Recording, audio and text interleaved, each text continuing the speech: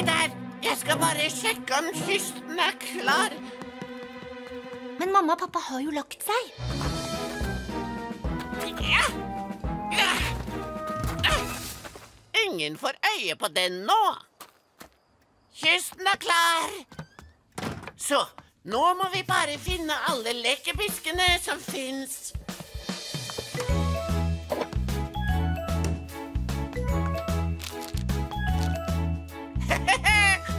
Gjett om jeg skal lage den beste overnattingsblingsen i verden. Ah, nå skal den bare ristes. Er du sikker på at du burde gjøre det der, Georg? Så klart jeg er sikker på det. Dette er verdens beste overnatting, ikke sant? Så på tide med en skummel fortelling. Skummel fortelling? Å, det er veldig mørkt. Det må være helt mørkt til en skummel overnattingsfortelling. Kult. Det kommer til å bli verdens beste overnatting. Du, hvordan er den skumle fortellingen din, Georg? Den heter ba, ba, ba, bam, Dommedagståken. Det var en gang Det var en veldig skummel person som bodde i et veldig skummelt hus. Er jeg en uh, potet, da? Nei, nei, skal vi se, skal vi se Nei, uh, vent! Jeg har det. Ja visst! Uh, nei, stemmer ikke. Um, Han har gjettet i over en time nå, Sam. Vil du ha et hint, sjef? Å ja! Glimrende! Du er noe man kan ha på seg, sjef. Jeg har det! Jeg har det! Ja? Nei, nei, det forsvant. Lagde den skumle personen et sånn veldig skummel grimase. Dukker dommedagståken egentlig opp i det hele tatt i denne historien, eller? Uh, Den er så kjedelig. Nei, det er den skumleste fortellingen jeg har hørt. Å nei, se der! Det er dommedagståken. ikke vær dum, Jon. Det er ikke tåke. Det er røyk. Ah! Og den kommer fra brødristeren! Henter mamma og pappa. Jeg ringer brannmann Sam! Jeg har det! Jeg vet hva jeg er! Det må nok vente, er redd, sjef. Nei, hva skal vi gjøre nå, da? Hun holder seg visst langs kysten. Ja, hun bryr seg ikke om at sjøen er litt røff. Vent nå litt. Hva er det? En robåt? Det er Georg og Mandy, og de driver mot klippen. Men hvor? Det er jo masse klipper langs kysten. Se der, de er ved fyrtårnet. Georg og Mandy er i en robåt, og de driver mot klippen ved fyrtårnet. Oppfattet. Jeg er på vei.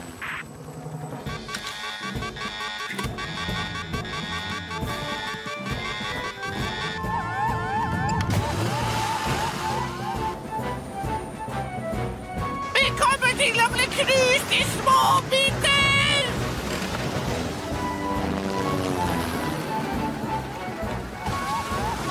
Jeg kan ikke gå nærmere. Da sender bølgene oss inn i klippene også. Hold henne stødig. Klar, Tom? Jeg er klar. Trekk opp nå!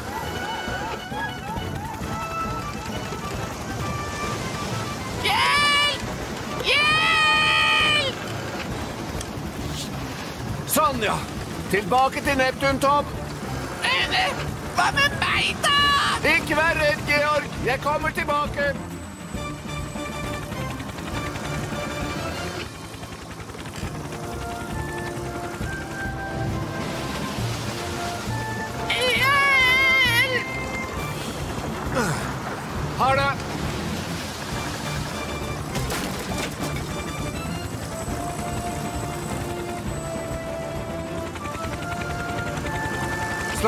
Georg. Du er trygg nå.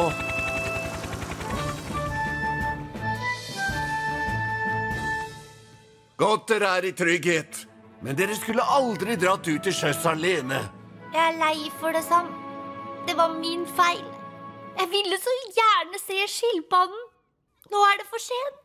Slapp av, Mandy. Du kan komme hit når du vil og se hva den holder på med. Se, nå er hun under vannet. Se på det etter det som skjedde.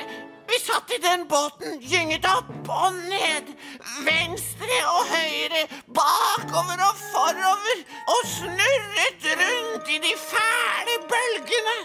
Uh, Brannmann Elvis kyllingpasta later til å røre på seg. Unnskyld meg.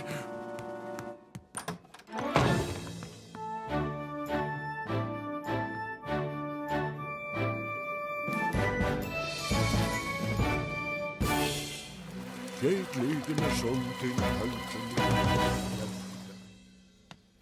Eh, Penny, eh, hør på talen min til Sam, og fortell hva du syns. Eh, det er med utrolig strålende glede Hva driver dere med? skriver en ny sang, sant, Penny? Det er med utrolig strålende glede du, du, du. Ja, nettopp, Sam. Vi finner på en ny sang.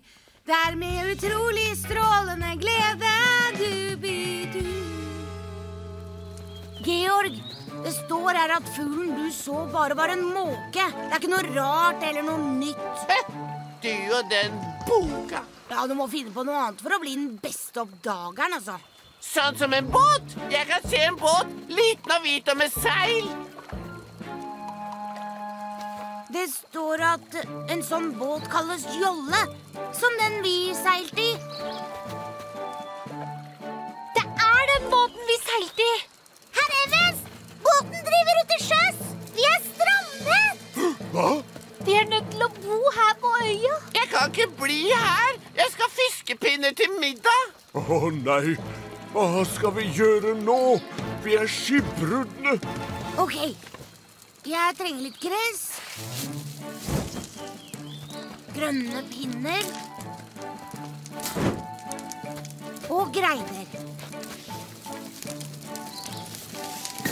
John, hva gjør du med pølsene mine?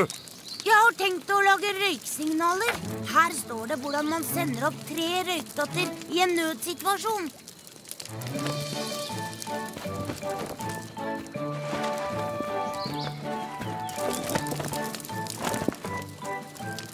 Å, det var veldig smart. Se her!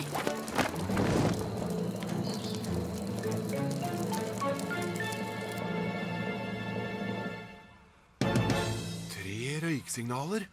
Det betyr nødsituasjon. Speiderne må være i trøbbel ute på øya. Jeg blir nødt til å ringe brannmann Sam. Ingen Sam her. Da kan jeg skrive talen. Det kommer SOS fra Pontypandyøya. Penny, ta Neptun ut i øya og sjekk at speiderne er ok. Det skal vi, Sam.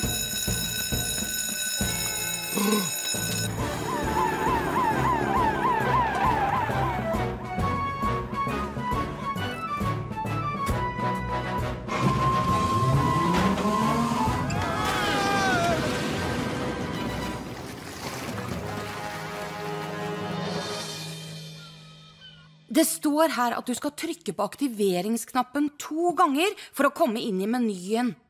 Men hvilken er det, da? Jeg, jeg veit ikke, ja, Penny. Nå finner dere ut av den nye sonaren. Nei, vel Vi sitter fullstendig fast. Den røde knappen er nok til å åpne menyen. Ja, og så skifter du innstillinger med den gule og grønne knappen. Sånn, ja. Den virker. Kanskje lek med kjempegrønnsaker ikke er så dumt allikevel. Jeg fryser, jeg, og jeg var våt, og jeg mistet opptakeren da vi kullseilte. Nå, nå får jeg aldri de innspillingene. Det er min feil. Beklager, Charlie. Jeg skulle ikke prøvd å ta over styringa. Ta deg rolig, Ben. Nei. Du er kapteinen på skuta, Charlie, og kjenner farvannet omkring Pontypandy bedre enn noen andre. Så, hva skal vi gjøre nå? Vel, Kommer noen til å finne oss? Det gjør de sikkert. Men fram til det er vi nødt til å holde motet oppe. Hvordan da, Charlie? Sånn alle Pontypandy-sjømann i gammel tid gjorde. Ved å synge Pontypandy Shantyen. Jeg tror ikke jeg kan den. Ta deg rolig, jeg skal lære deg den.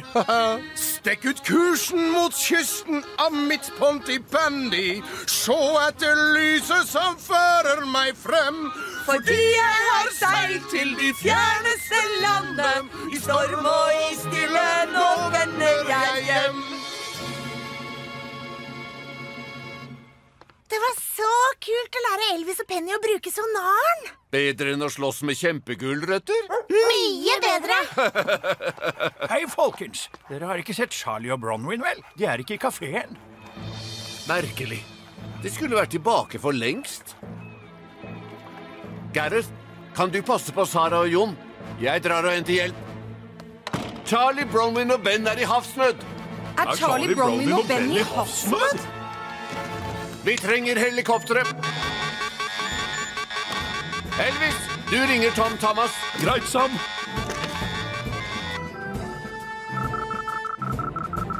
Wallaby 1. Charlie, Bronwyn og Ben er i havsnød. Jeg er på vei. Jeg tar Juno, dere to tar Neptun. Jeg tror vi trenger den nye sonaren.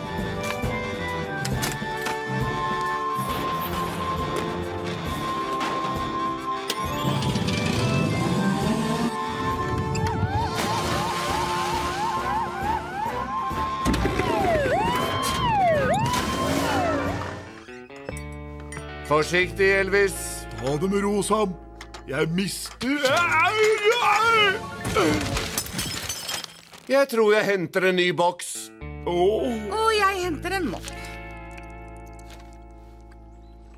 Stasjonsmester Stil, vi har rodd i en evighet. Det har ikke kommet noe sted.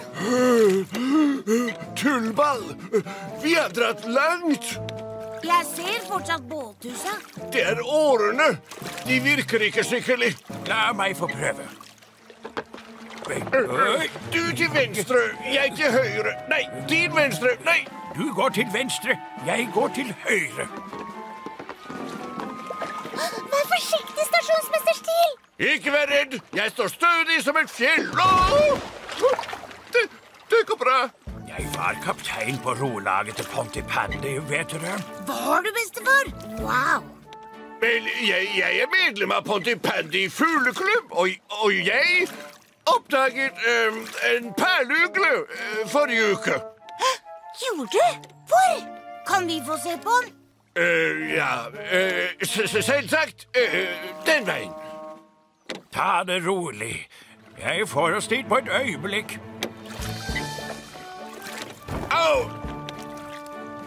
Bestefar er topp.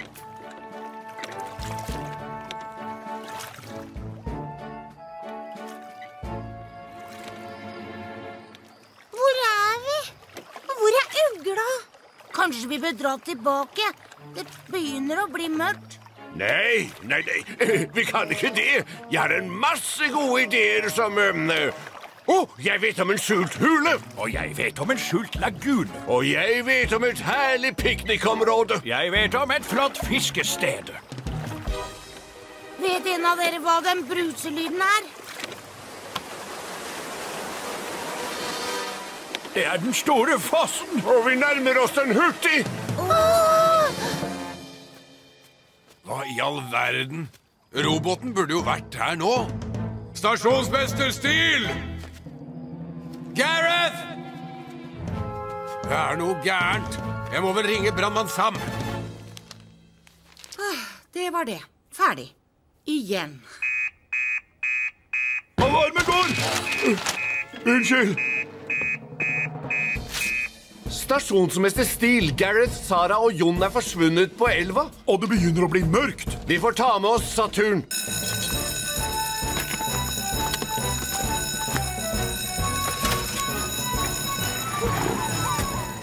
Jeg, jeg ser dem ikke, jeg heller. Lilly! Sara! Hvor kan de være? Jeg må ringe brannmann Sam. Sara og Lilly har gått seg bort på Pontypandyfjellet. Sara og Lilly har gått seg bort på Pontypandyfjellet. Jeg drar opp i fjellet. Du ringer Tom Thomas-Treff, som jeg skulle sagt det selv.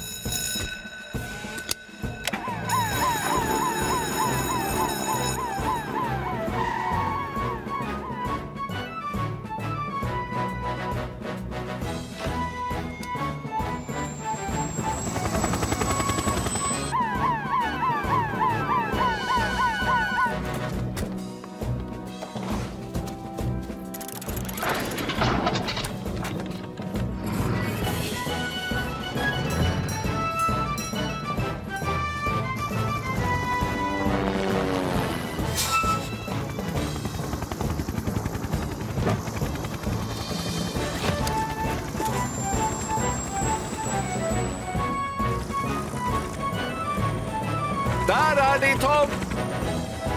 De har ikke bare gått seg vill, de har gått seg helt fast. Vi bruker vinsjen.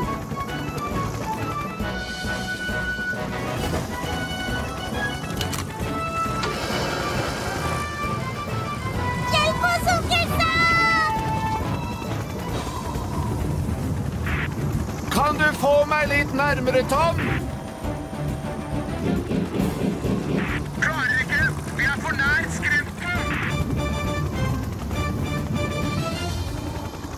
Nødt til å finne et trygt sted der jeg får tak i dere. Sau! Hva er det du gjør, lille lam?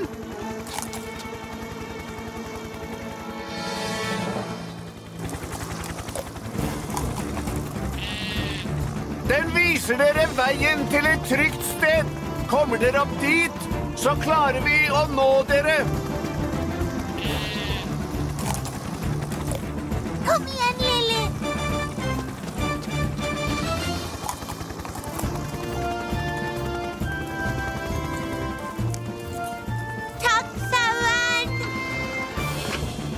Har deg, Lilly. Jeg kommer tilbake på et blunk, Sara. Hold fast, Lilly. Din tur, Sara. Jeg slipper deg ned på fjelltoppen, Sam. Trengs ikke. Kommer opp på egen hånd.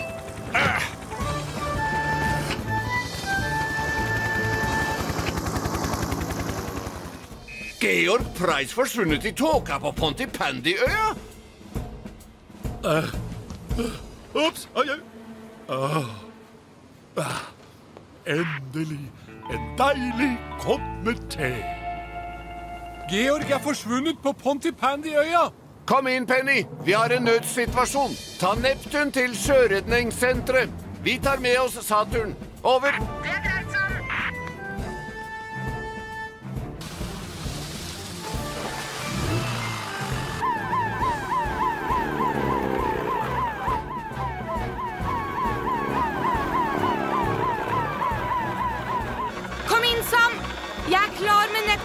Neptun! Er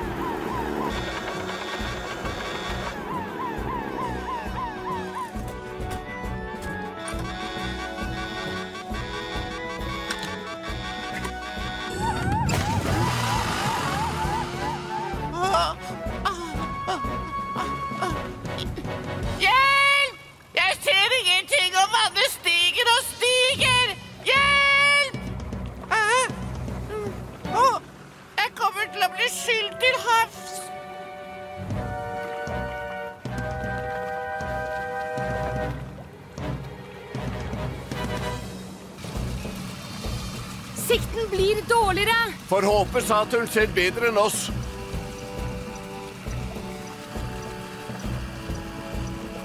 Ser du noe? Kom igjen, Saturn. Jeg ser noe! Saturn fant Georg ved nordvestre strand. Hold fast!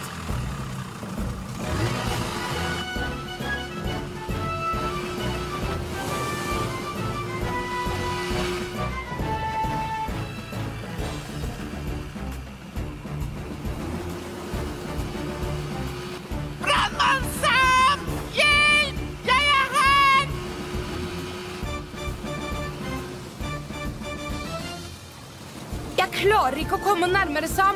Hjelp! Ikke vær redd, Georg. Jeg kommer og henter deg.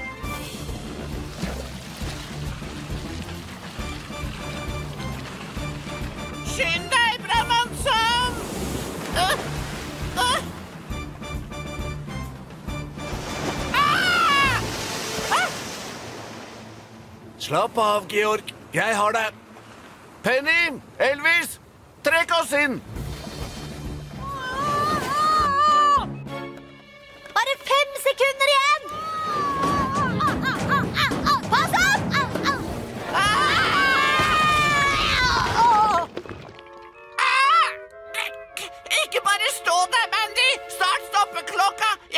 slå brohengerekorden!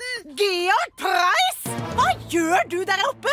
Kom deg ned! Men mamma, jeg prøver å slå en rekord! Du kommer til å slå deg helseløs, Georg. Jeg ringer brannmann Sam. Georg Price henger og dingler under en bro. Reddet av gongongen. Georg Price henger og dingler under en bro.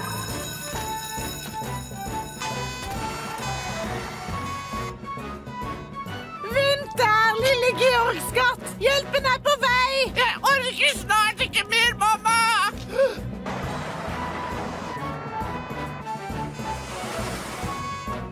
Nei! Skynd deg, Sam. Skynd deg. Georg henger i én finger. Hold ut, Georg.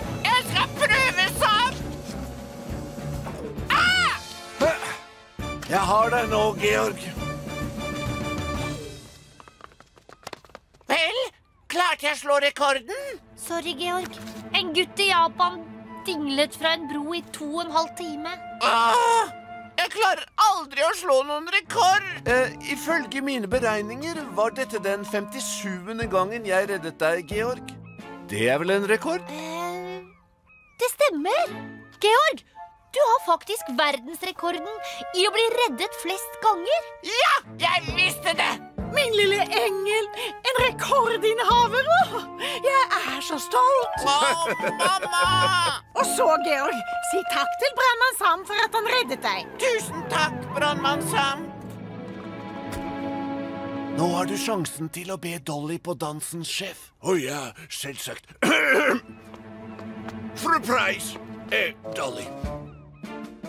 Jeg undrer på om du ville gjøre meg den ære å være min gjest på brannfolkenes middag og dans. Åh, beklager, stasjonsmester Steele. Jeg er alltid invitert av Trevor. Han er frivillig brannmann, vet du. Har du sett ham i uniform? Han ser flott ut. Eh, Hva skal jeg gjøre nå? Hvem kan jeg ta med på dansen? Eh, kan jeg få den ære, sjef? Ja, for all del, Brandon Elvis. Men, eh, men denne gangen fører jeg. Selvfølgelig, sjef. Og dette er Titan. Vårt nye redskap til sjøs. Uh, uh, eh, hvor er vanntankene? Eh, Titan har ingen vanntanker, sjef. Hun pumper opp vann rett fra sjøen. Å, oh, jaså? Fabelaktig. Sannelig. Og hvis dere blir med meg til baugen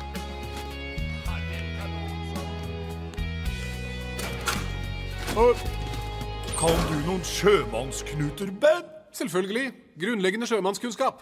Åh, kan du lære meg en? Så klart. Vi kan starte med trompetstikk. Lat som om denne enden er en liten brun ål. Å, ja visst. Jeg liker ål.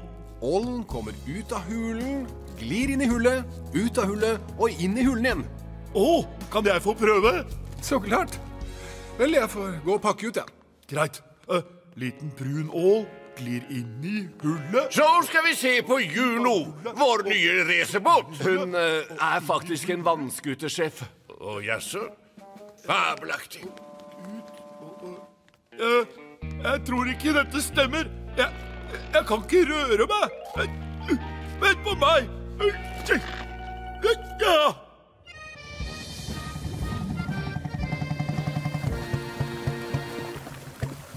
Plattformen ser litt liten ut, Mikkel. Er det trygt å fyre av fyrverkeriet herifra? Jeg skal ikke fyre det av herfra. Jeg fyrer det av i trygghet fra kaia. Med denne. En detonator! Åh! Må visst finne fram sjøbeinet. Er du helt sikker på at du ikke trenger hjelp, Mikkel? Nei, det går bra. Jeg setter opp dette her på et øyeblikk. Ja ja, hvis du er sikker, så.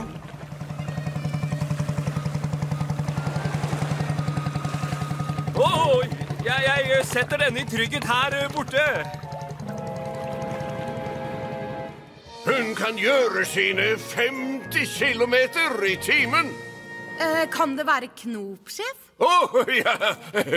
Knapp. Og dere kjenner jo Neptun. Så da er omvisningen over. Hvor har du vært, Brannan Elvis? Beklager, jeg ble litt øh, hindret. Øv deg! Oh, det begynner å blåse litt. Klarer Mikkel seg der ute? Ja da, han klarer seg fint. Oh, oh, Oi! oh. Ei, ei, ei! Ha! her deg! Oh, oh, oh. Jeg satte meg på knappen. Oh, oh. Åh! Åh! Rødt er til tre, hvitt er til noe beske. Var det ikke noen ting om en bøtte? Stopp, stopp, stopp! Vi starter igjen. Og én, to. Én, to, tre, fire. Jeg tror ikke det rimet kommer til å hjelpe dem, Sam. Nei, Elvis. Ikke jeg heller.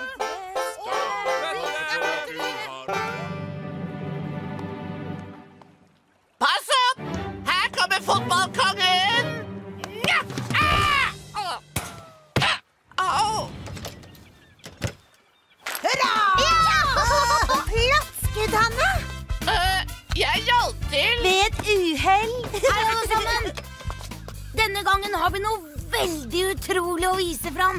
Å nei!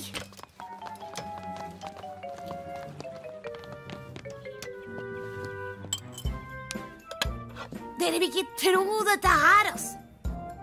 Nå, dette metallet kalles natrium. Se hva som skjer når jeg legger det i vann.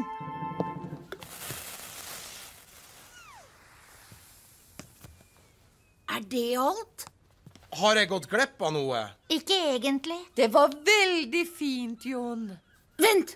Frøken Chen, kan du lage større flash? Kanskje hvis du brukte masse natrium? Sett det ned, takk, Jon. Hei! Hvem vil spille mer fotball? Ikke inne, Sara. Å-å, jeg henter moppen.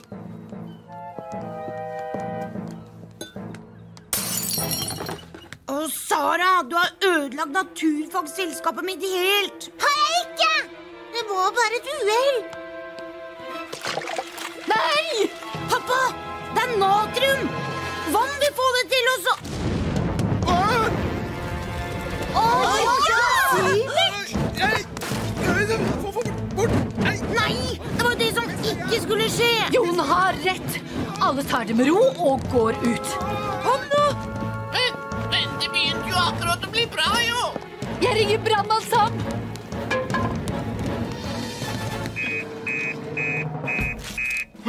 En kjemibrann i Bronwyns kafé. Det er en kjemibrann i Bronwyns kafé. Men vi er der. Å nei! Å, min Georg! Kom igjen, vi drar.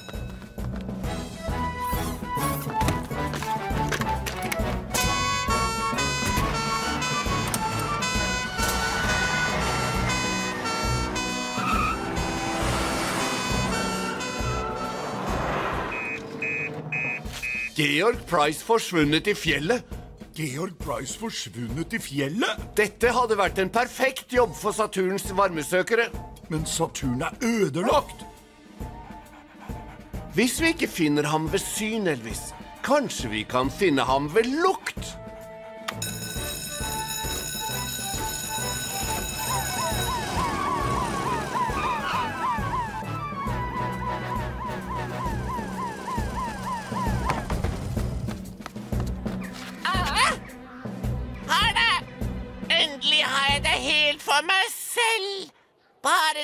Og jeg her ute. Alene. på denne fjellhylla. Hjelp! Hvis Radar kan lukte osten og følge lukten, fører han oss rett til Georg. Jeg har holdt osten i hele dag. Hendene mine lukter sterkt av ost. Radar, søk og finn. Det er ikke noe tegn til ham fra lufta ennå.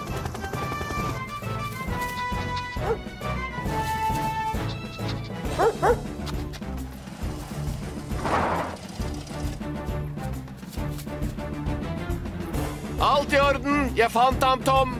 Georg Price er på vestsiden. Oppfattet. Senk ned dobbeltselen.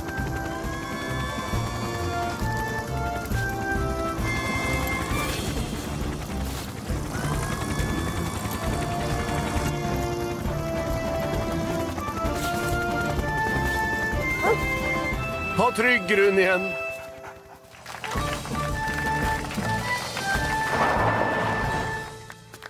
Georg Price, du fikk den edle sporten osterulling til å virke høyst latterlig.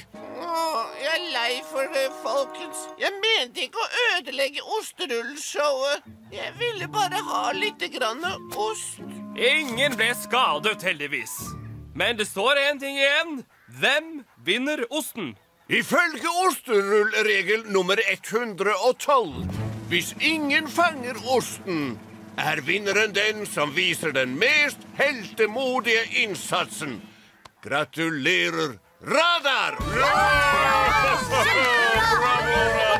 Åh, vi fikk ikke engang tid til å ha lunsj, sammen. Jeg er så sulten, altså. Å, Radar.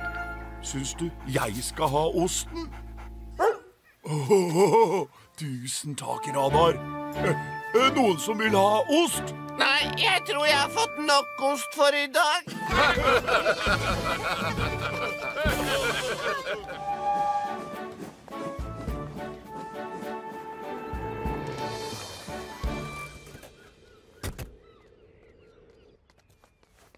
Ah, Sam.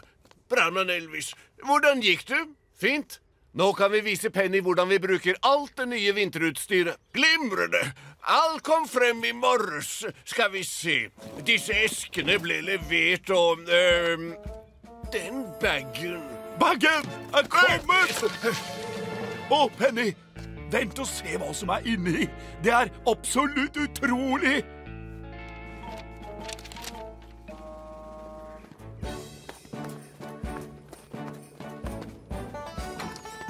Velkommen til mitt nye vintereventyr. Ja! Følg meg, og bli med og bygge en iglo. Å, Trevor. Vi kan bygge en iglo for to.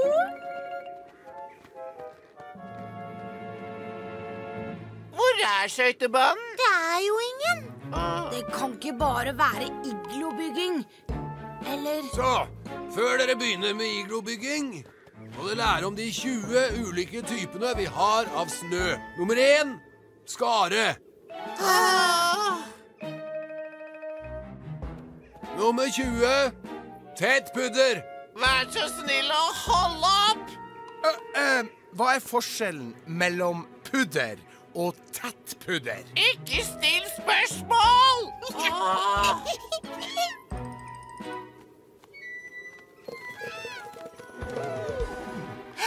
Det er tjukk is på innsjøen. Pst, pst. Vi kan skøyte ute på innsjøen. Kom igjen, vi gjør det. Og husk på, ikke bruk snøtype nummer fire gul.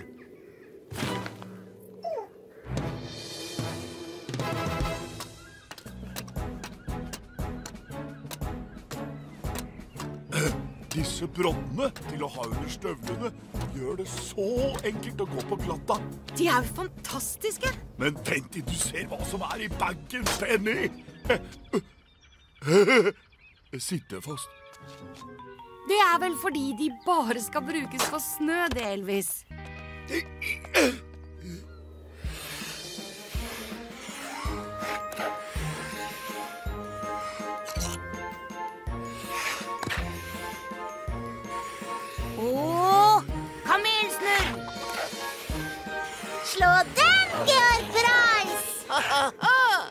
Forbered dere på en overraskelse.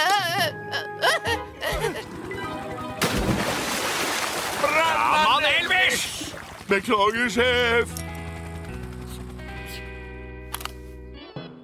Herr Georg, er allting du trenger. Tusen takk, Mandy. Prosjektor. Forsterker. Og spotter. En boombox.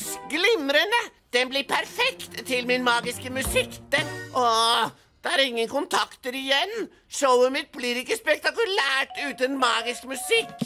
Kan du ikke bruke batterier i stedet for? Batterier? Men hvor mener du jeg skal få batterier fra, da? Jeg vet akkurat hvor.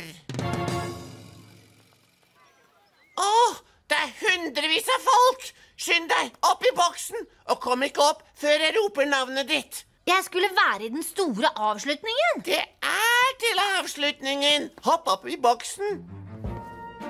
Åh, Georg! Det er jo skittent og støvete. Showtime.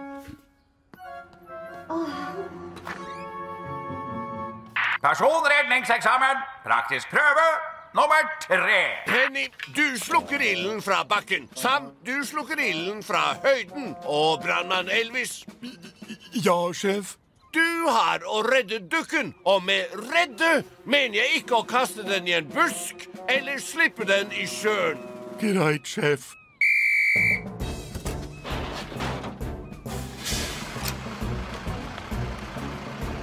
Brannmann Elvis. Luft 100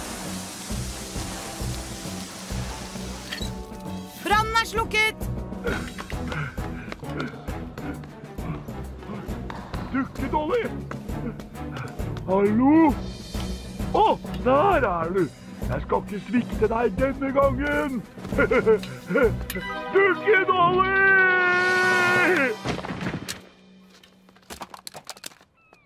Mer te? Takk, eh, Deres Majestet. Brannmann Elvis! Oi sann. Um, mine damer og herrer, den urolige Georgski. Utrolige, utrolige. Den utrolig ulidelige Georgski. Ah.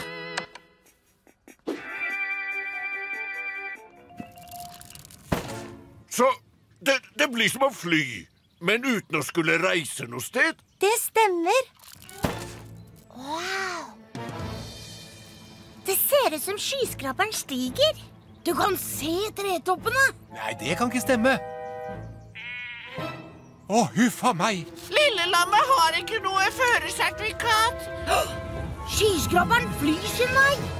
Så du kommer deg ikke over Pontypantyfjellet likevel da, Mandy? Nei, men det gjør Lillelammet. Heia, Lillelammet! Å nei, han tygger på tauene. Han kan falle i bakken. Vi er nødt til å ringe brannmann Sam. Lillelammet har lettet til jords luftballong, og det er ingen godkjent fører om bord. Lillelammet har lettet til jords luftballong, og det er ingen godkjent fører om bord.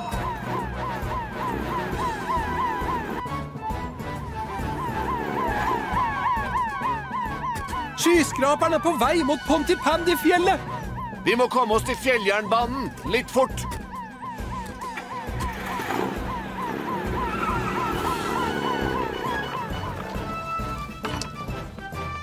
Tom, vi trenger helikoptre.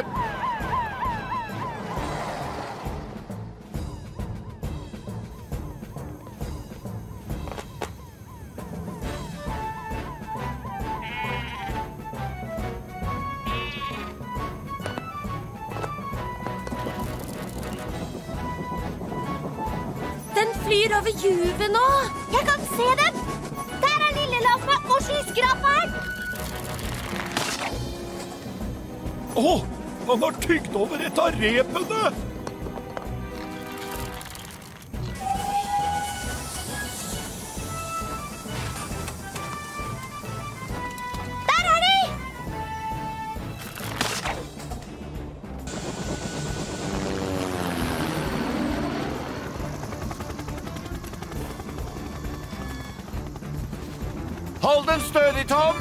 Jeg prøver å bruke gripedrengen. Det skal bli som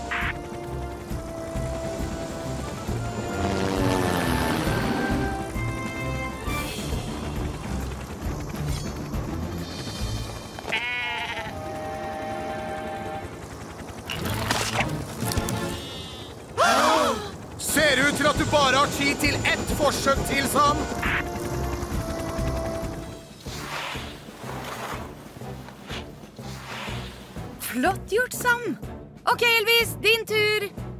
Er i farta! Eh, eh, Stopp, Elvis! Press situppene sammen! Unnskyld. Det var ikke like mykt som et fallende snøfnugg, eller hva, Penny? Eh, Nei, Elvis. Ah, en kjelketur ned en bratt skråning vil få skuespillerne til å se redde ut og gjøre filmen skikkelig skremmende.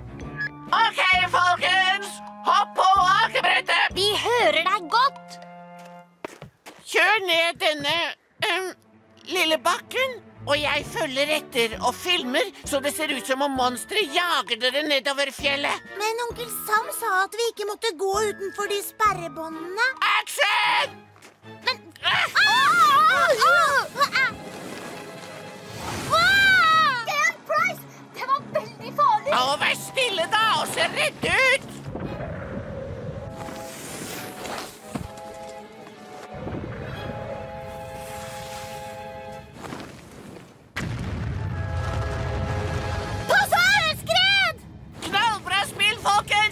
Ser faktisk redd ut. Snøskred! Snø hva? Ah! Kom inn i hytta! Kamera!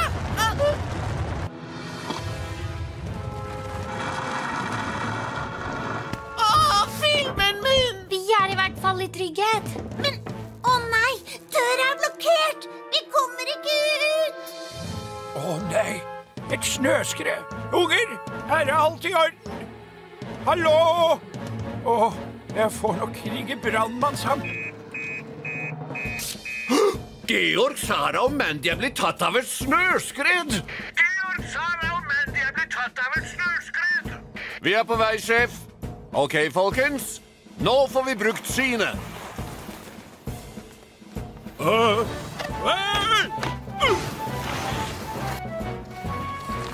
Vi får gå i sikksakk over hele skredområdet, sånn som vi øvde på. Hør på mottakeren deres. Når den piper høyere, så er ungene like ved.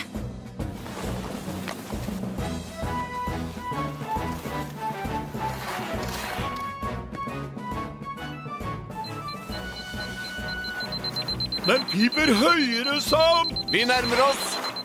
Hallo? Sara? Mandy? De er innesperret i hytta. Vi skal ikke kjøre så veldig fort, vel, Sara? Jo visst. Veldig fort. Vi må vinne løpet. Dere vil snart oppdage at det blir jeg som vinner. Du kan drømme, du. Du har aldri vunnet. Nå. Er dette alle deltakerne? Ikke helt. Gi plass til til Olja Lyne. Men dette Han er jo voksen! Det er imot reglene! Reglene er at det er ingen regler. Greit, er vi klare? Er det plass til en til? Hva er dette? Hils på Tordenraketten 2000.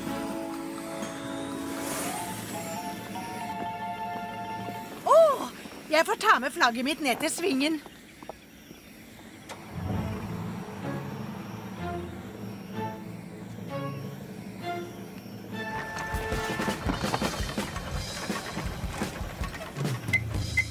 Ikke la den eksplodere. Tre, to, én. Ikke la den eksplodere. Utskyting!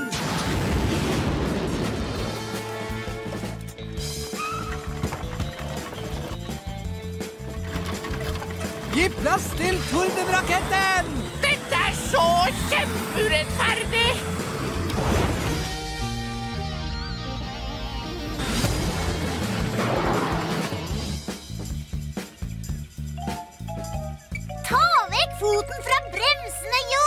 Men jeg liker ikke fart.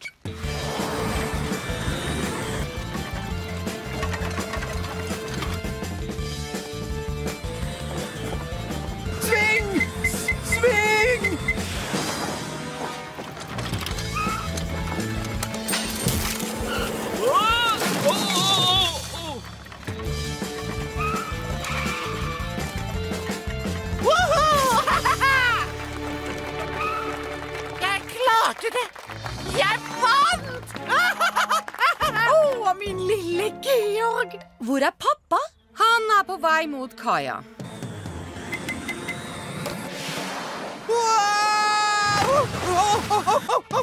Han forsvant uti! Han er på vei ut til havs. Jeg pleier å gjøre det. Vi må nok ringe brannmann Sam. Jo Sparks er på vei ut til havs på en rakettdrevet sveveolabil. Jeg tar Juno, dere tar Neptun. Jeg kan trenge støtte.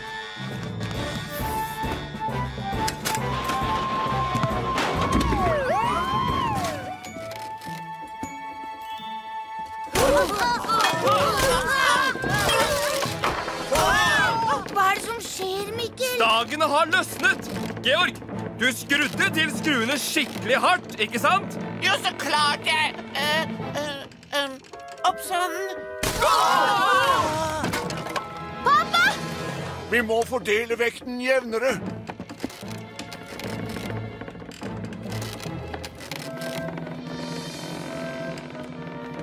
Georg, du er nødt til å holde deg i midten for å holde balansen. Jeg? Eh, Derek, du står i midten, for du var først oppe. Jeg var ikke det. Du var først, og du trengte deg fram. Vær stille, begge to. Ingen rører seg, ellers faller vi ned. Jeg liker ikke trehytter. Hva skal vi gjøre nå? Det er bare én ting vi kan gjøre. Hjelp! Hjelp!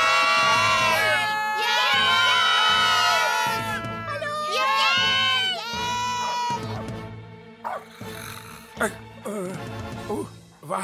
Oh, hva er det, Nipper? Å, noen er i vanske. Kom igjen!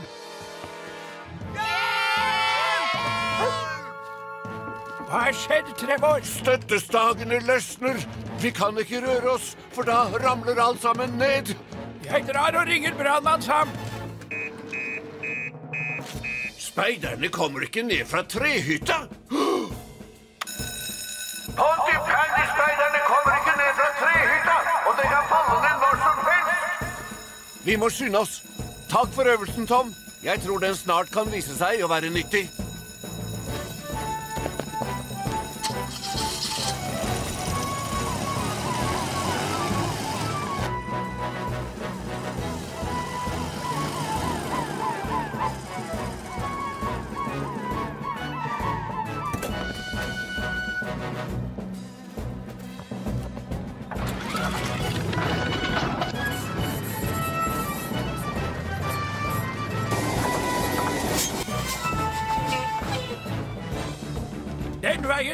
Sam.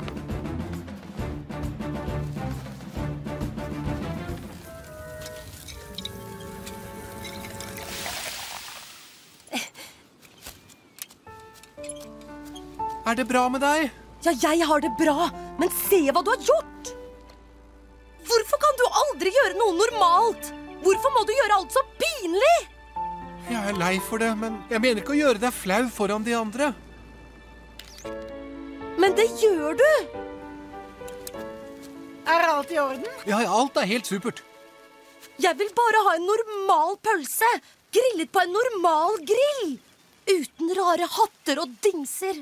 OK, Hanna. Se! Flaska! Tilbake, alle sammen. Det sprer seg.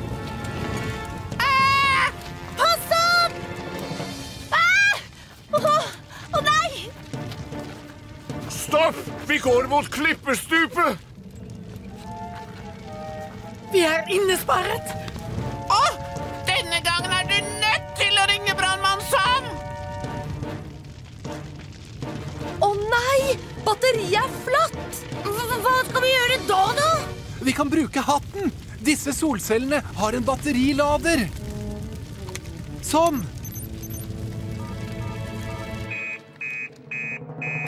Det er gressbrann ved ruinen, og folk blir trengt mot stupet. Det er gressbrann ved ruinen, og folk blir trengt mot stupet.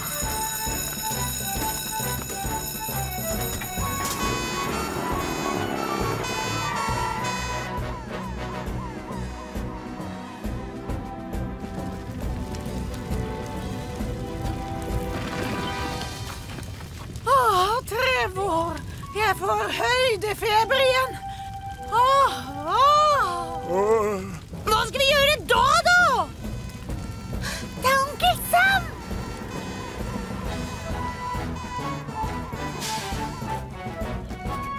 Penny, du spyler gresset. Vi bruker slukkespadene. Ja vel, Sam.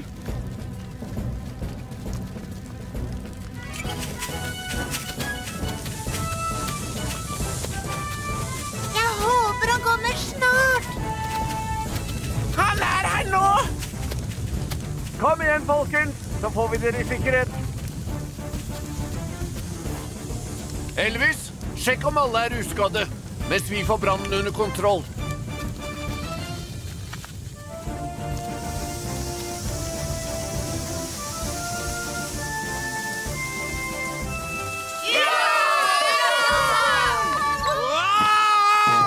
Au! Mus! Åh! Gikk det bra? Ja, jeg tror det. Men jeg kan ikke røre meg. Jeg sitter fast mellom en stein og en, en annen stein. Ikke vær redd. Jeg, øh, jeg har en uh, walkietalkie. Å nei! Håper fossilene mine ikke er ødelagt. Vi er nødt til å skaffe hjelp. Hva med bestefar? Han kan ringe onkel Sam. Det ordner seg. Vi henter hjelp. Hva er det med de fossilene dine?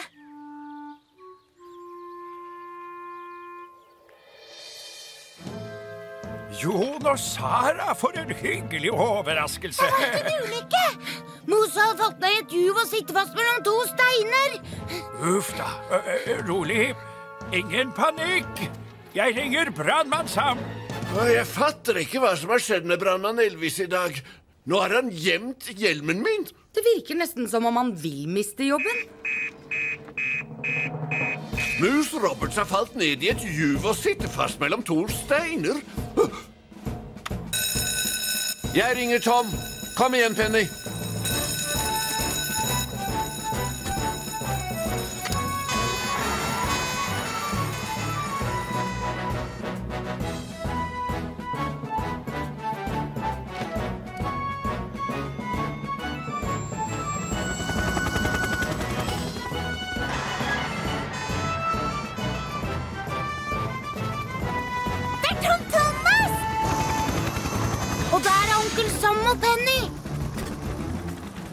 Med romos! Vi får deg snart opp derfra. Tom, send ned en dobbeltsele. OK, Sam. Den er på vei. OK, Tom. Senk meg ned i kløfta.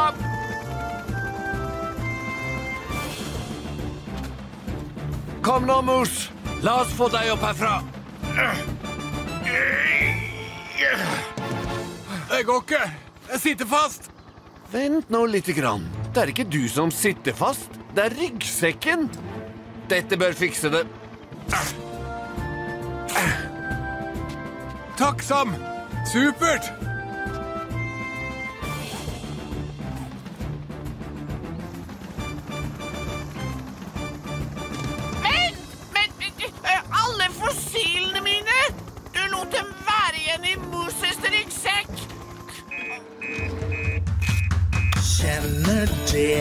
Brannmann Sam? Ingen er så kjekk og stram. Overalt han kommer frem for å få deg sikkert hjem. Ja, alt det han kan. Brannmann Sam er en altmulig mann. Brannmann Sam, du kan stole på ham.